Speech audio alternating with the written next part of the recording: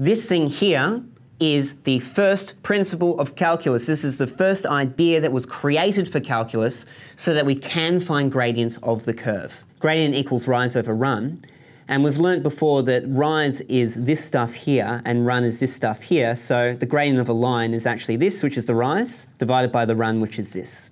Lim of h as it goes to zero, this just means, this entire thing here just means h is really, really, really small. And let's have a look at why. Well, lim stands for the word limit. And limit means the maximum or minimum number that something can be. So in this case, it's the minimum number something can be.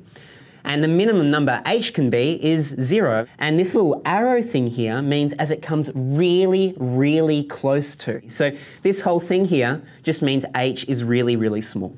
So we've got the gradient of the curve where the limit of h goes to zero. This means this h is really, really small. And then we've got the gradient here. So this is the gradient of a curve. It is this formula here, which is actually the first principle of calculus.